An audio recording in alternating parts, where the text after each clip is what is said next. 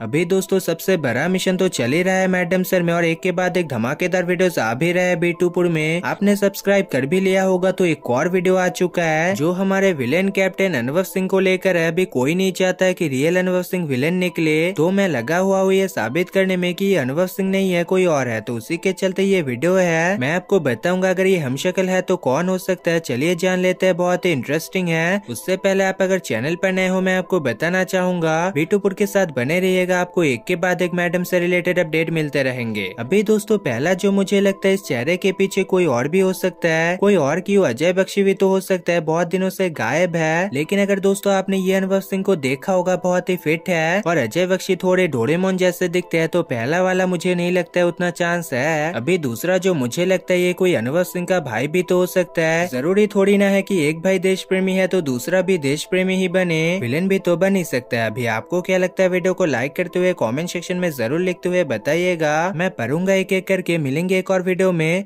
bye